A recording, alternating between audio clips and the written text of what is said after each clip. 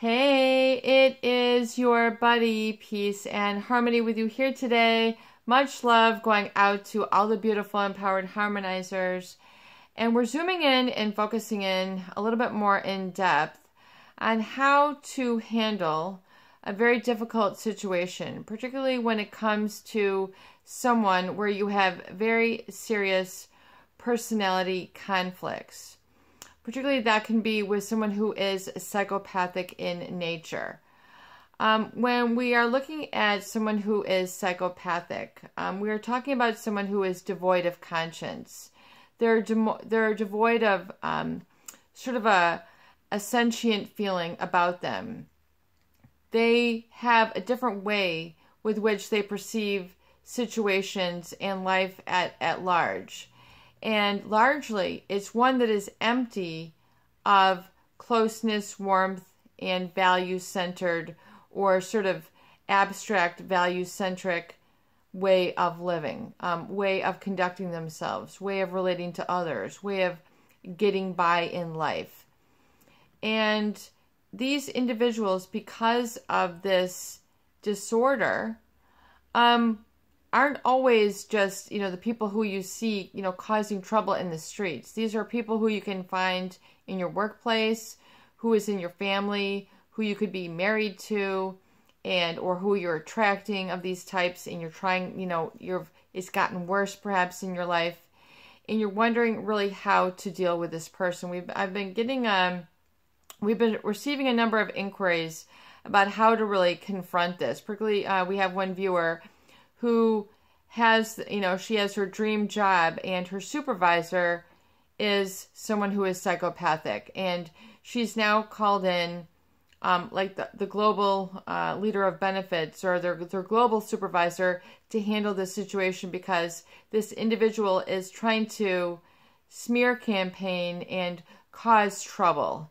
uh, for her and you know is really you know create, creating this triangle you know triangles you know triangulation in the smear campaign um splitting talking about her behind her back very unprofessional behavior.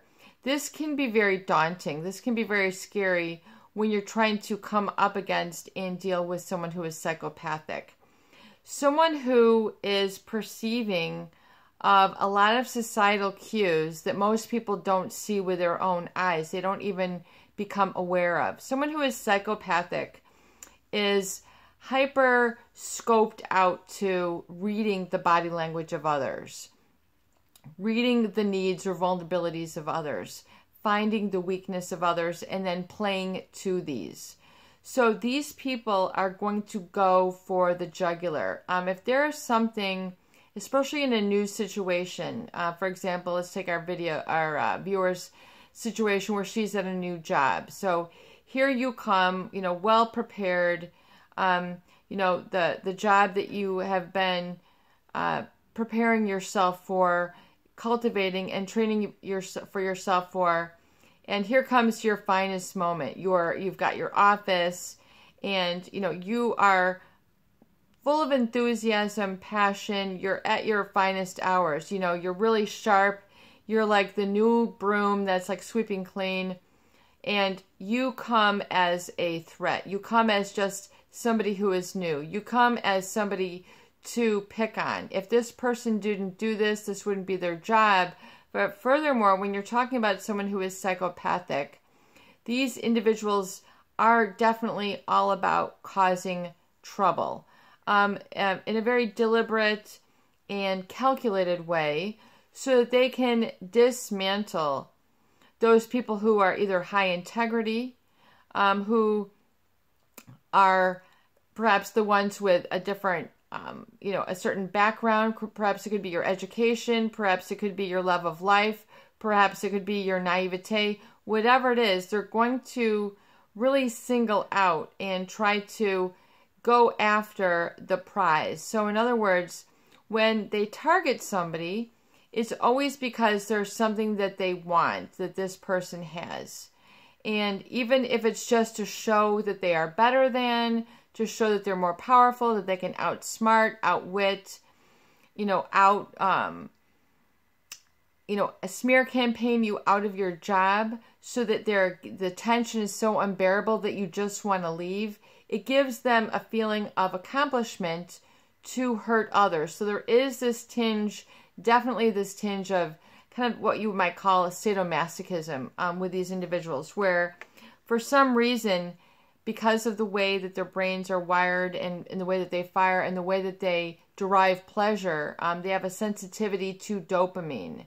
So when they really want something, they go after it full throttle. I mean, they just have a hypersensitivity. So this causes them to violate people's boundaries. It causes them to engage in high risk behaviors. It, it causes them to think differently about how can they maneuver things in their environment, very much like a, a, a chess game, so that they'll come out looking better than, smarter than, more equipped. You know, how can they basically get people off the playing board if you look at the game of chess? And, you know, and and furthermore, um, these individuals will also play to those people who have what they want. And so, in other words, to take it from them. So, whether it's your innocence, whether it's your enthusiasm, um, whether it's that your natural way of being effervescent and bubbly and carefree and not worried, um, whether it's your stability, whether you're like a rock, um, whether you have beautiful children and they want to kind of ruin them. There's always this sort of ruinous, um, very, very, some people call it evil, but a very ruinous energy about them. They want to destroy the innocent. They want to hurt the good intention. They want to hurt the generous.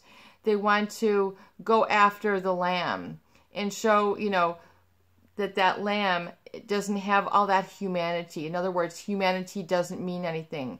Your enthusiasm, your your bubbliness, your your natural good looks or your natural kindness is theirs for the sort of ripping out and dehumanizing of you so that you don't have that a leg to stand on. Um, and so it's to understand a really a very very um, difficult dynamic to articulate of sort of their their mindset um, and how they sort of calculate and, and plan um, and sort of taking people down. Um, this is how they just derive a sense of pleasure or that they've kind of making their way in life for the psychopath, they'll tell you it's just business as usual. People don't have, there's not a sentient sort of connection that they have to others. They don't really feel anything if they've hurt others' feelings. They don't feel anything if they've wounded their children. They don't feel anything if they've, you know, hurt a whole bunch of people. They, they don't feel a remorse. They don't feel regret. In fact, they don't really register the lessons. In fact, you can have a, a big fight with this type of person that's all out clamoring and yelling and you know and then you know words are are done or whatever happened you know um, things were said and these people basically they don't tend to maintain that you know that feeling like well we we need to make you know we need to work through something here they don't have that sort of connection to the limbic brain. They, they, they, and it's just very, very um, uncanny when you see it.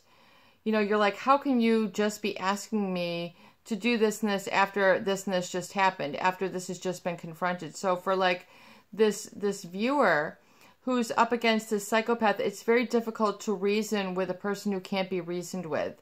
It's very difficult to have rules with people who don't abide by the rules. But even more in depth than that, there's you can't really speak the human language with these people because what constitutes a true human is to be humane and that's really sort of lacking that that emotional context of meaning or value or significance is voided there. It doesn't have any meaning. Um, and so this person does not feel like they literally don't feel that they have done something wrong. You cannot reason with them you know why you know why did you just do this to my house? Why did you just do this to my bank account? Why did you do this to my kids? Why did you cheat on me? For them it's because i wanted to. But they they've learned in life that they can't just say that. They need to project a whole bunch of other stuff and make and create the crazy making what's called engineered chaos And, you know, in other words, it's all to deflect.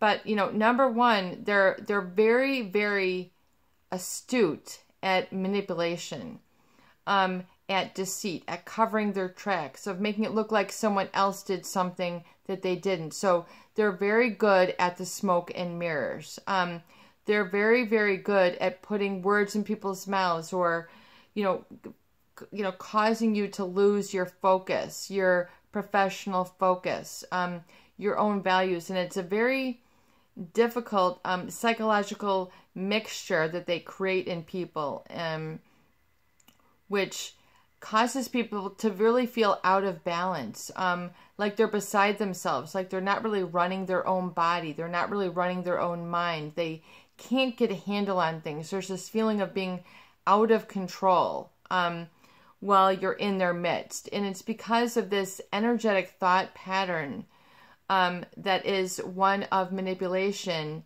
that is very difficult to connect with. So if you're feeling a disconnect, it's because it's very difficult to connect with someone who is trying to outsmart, outwit, take down, find um, sort of a, a, a very corrupt, you know, decrepit or perhaps corrupt ways that this person is. So very deceitful. Um, there's a coldness, uh, a sort of, you know, a very lack of ethics, um, a lack of good housekeeping, if you will, in terms of like how they might run their business, um, lack of communication, um, very, uh, you know, sort of like there's an air about them that it's, you know, all, all about me, but it's even more profound than that. It's even more powerful.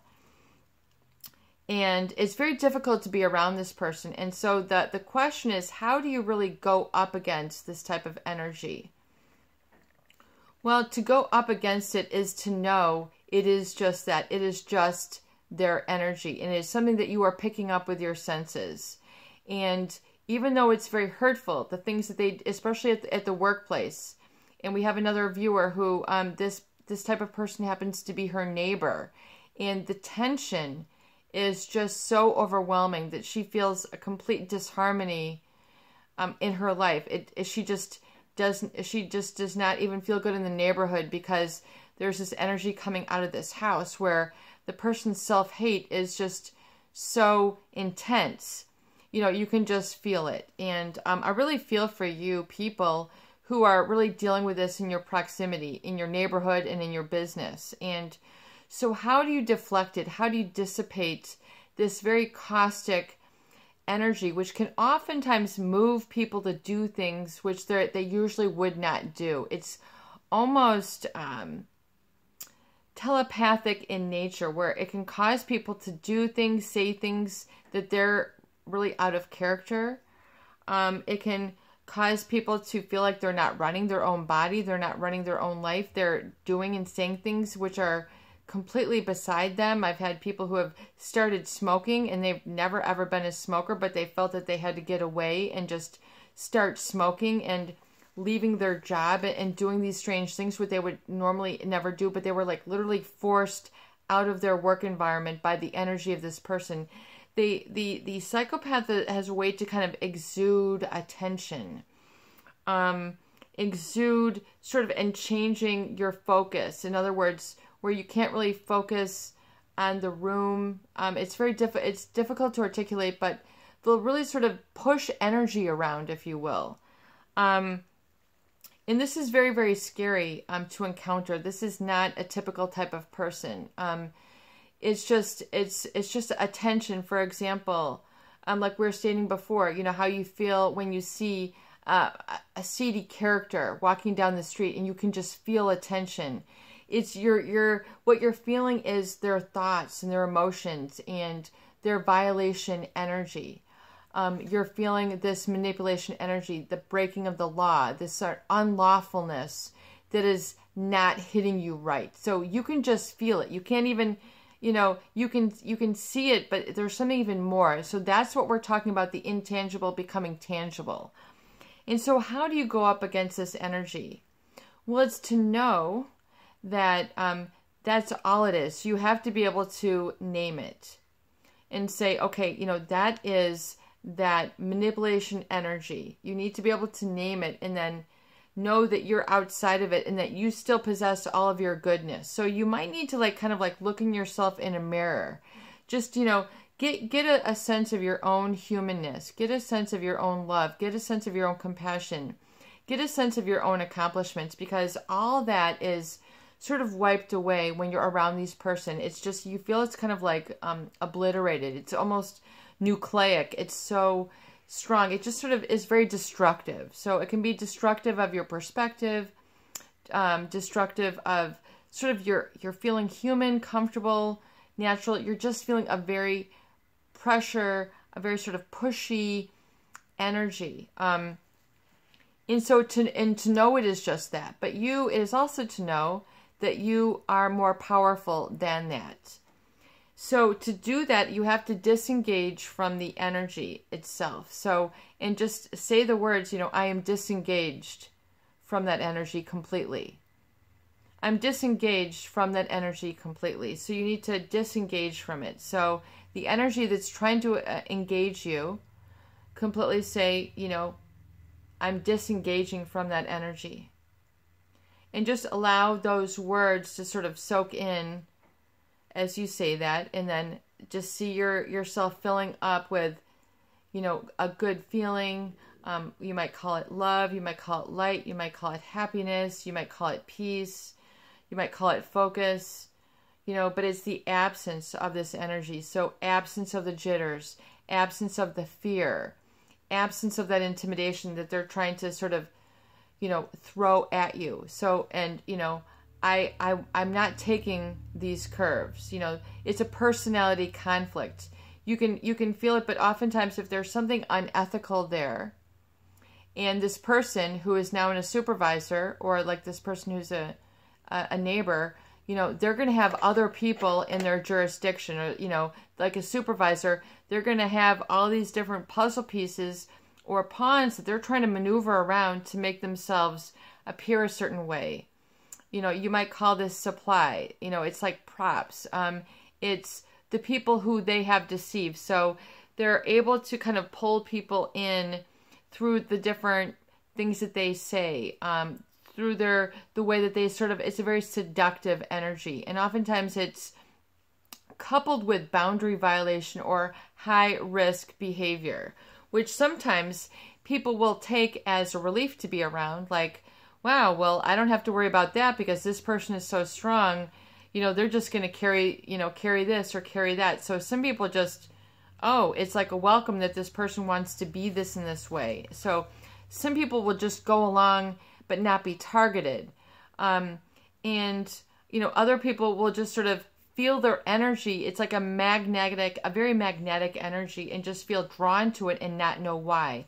It's oftentimes there's a psychopathic gaze which is sort of transfixing on their their predatory, very reptilian like.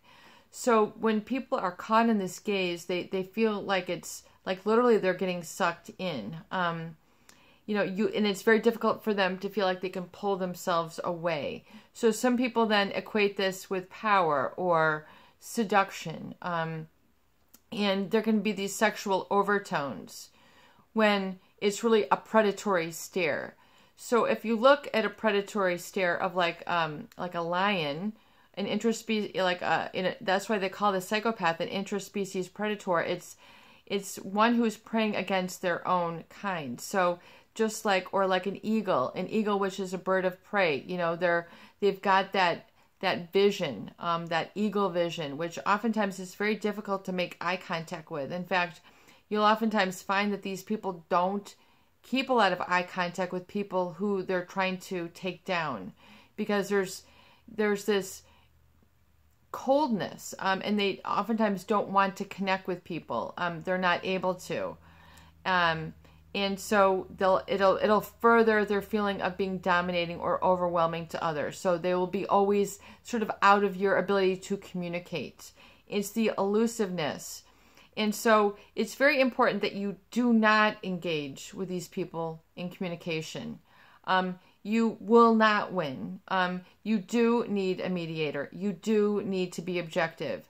You do need to communicate in a very indifferent, neutral, um, fact based manner and just saying, you know, exactly, you know, this is what is happening, and it's making it a very um, uncomfortable, hostile work environment to be in, where it's wrought with, and it is intimidating and uncomfortable because, and then cite the reasons that's making it a hostile environment.